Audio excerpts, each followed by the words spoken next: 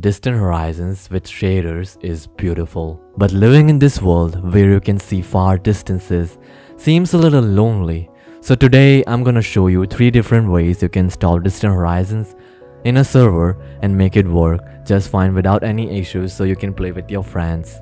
I know you don't have any friends to play with, so just join my Discord and I'm sure you will find someone. Also, I'm thinking of starting an SMP for people who might be interested in Distant Horizons, so make sure to check that out. But before we begin this video, please watch this video till the end because I'm sure you will find new, new information and no skipping, or you will get errors. First thing first, I'm not gonna show you how to install Distant Horizons. You can check out my channel for tutorials. Secondly, if you're going to play with your friends, just send them my tutorial videos and Distant Horizon installation. And make sure you both have same mods in mods folder. Now let's work our way up from good to best methods to install Distant Horizons in a server. Number 3. For this you don't have to do anything, just go to your Minecraft and create a new world. And type slash chunky commands and wait till it's finished loading. After the progress is done, just save and quit your world and now open your Minecraft folder. Here, go to your saves folder and locate the world you just created. Now open your browser and select your server hosting website. I am using Aternos because it's free and popular. So just create an account in Aternos and then create a server.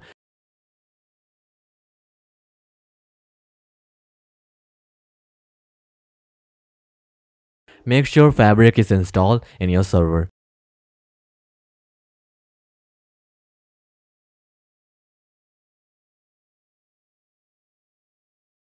And in the main menu, you will see files option on your like left hand side. Just go inside and if you see this world folder, just delete it and create a new folder called world.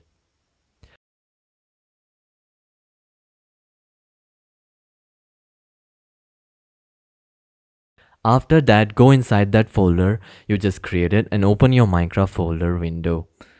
Drag and drop everything inside to Aternos world folder and give it some time to upload. After that is finished uploading, just start your server and join it. After joining, make sure that you are getting Distant Horizons LOD to load. Just walk around a little bit to load some chunks manually and go back some distance and see if it's loading as LOD. And here you will notice that chunks you loaded in single player world aren't working. But we are gonna fix that in a minute.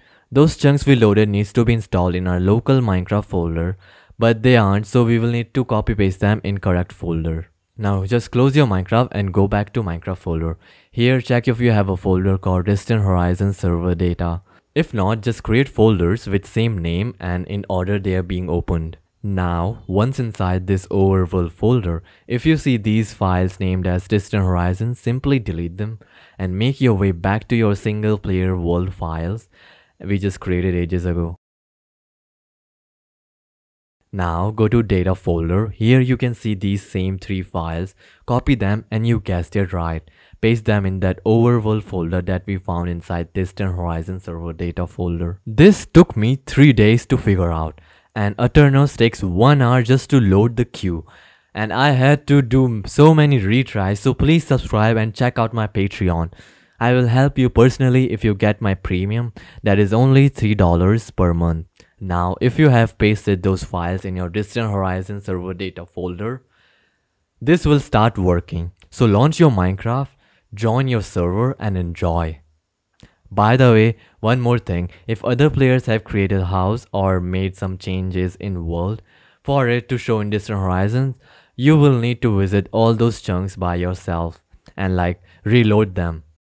So you just need to re-register those changes in your distant horizons files by visit visiting them manually. Get this video 500 likes and I will show you how to install huge walls in Aternos like I did in this background footage. Number 2. This is easy, so whatever server you're using, I'm gonna use Aternos since it's the most popular free hosting site. So just create an Aternos server and make sure it's fabric. After that, select your Minecraft version and if you did it correctly, you will see an option called mods. So just open that and search for Chunky and install that.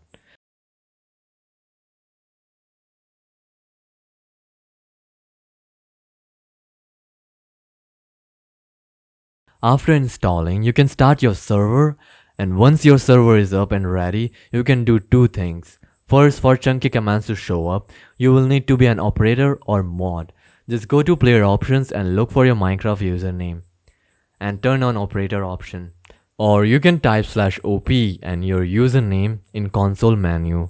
After this, you will see that you can type slash chunky commands in your Minecraft server. Or the easiest way you can do this is just go to console and type slash chunky commands directly from there. But make sure to put right coordinates of where you want your chunks to start generating from. And also make sure your server is running and log into the server so it won't turn off while chunky is doing its thing.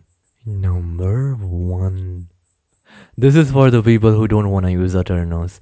Install Essential Mod. This mod provides you a system like Bedrock where you can add friend and let them join your single player world. This is so simple, you just need to type slash chunky commands in your world and let it finish and then your and then add your friends and invite them into your world. Let me know if I miss any other ways. By the way, also if you want your friends to see the same Distant Horizon LOD, send them those three files I talked about in method number 3. Just go to your world saves folder, select your world that you loaded your chunks in and then go to data and copy those three Distant Horizon files and then send them to your friends via Google Drive or some cloud storage and help them put it in right place or folder. Like distant horizon server data then minecraft plus server then overworld in that folder okay